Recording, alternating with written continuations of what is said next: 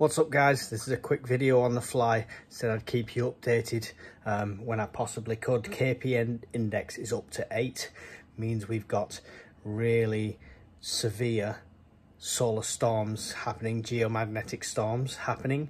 They're starting right now, but they're going to progress into the weekend. We've had over 10 X-class flares in the last seven days alone okay? One of those single flares was not as big as like the carrington event for example but because there's been so many and so many cmes heading towards earth we get what's called a cannibal cme now a cannibal cme is where a faster one is behind the slower ones and it eats them up on the way.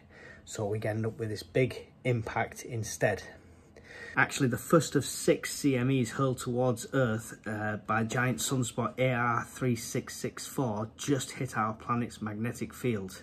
The impacts happened literally an hour or so ago. Now, not saying this is TEOTWAWKI, not saying this is SHTF big time, but I will tell you one thing.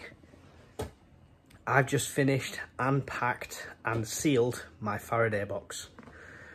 Not something I always do, it's not always sealed just in case, so I might be vulnerable at times to EMP attacks and things like that.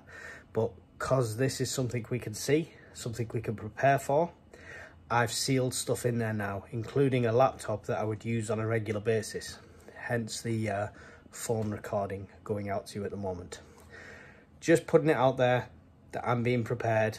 Hopefully we've just got a weekend of awesome auroras in the skies keep an eye on the channel, keep an eye on the live monitoring. I'm going to have that up 24-7 for the next couple of days, except for when we have power outages and things like that. Hopefully not. Thanks for watching, guys. Don't forget to hit like, subscribe, ring the bell. Don't miss any notifications. It could make the world a difference. Bye.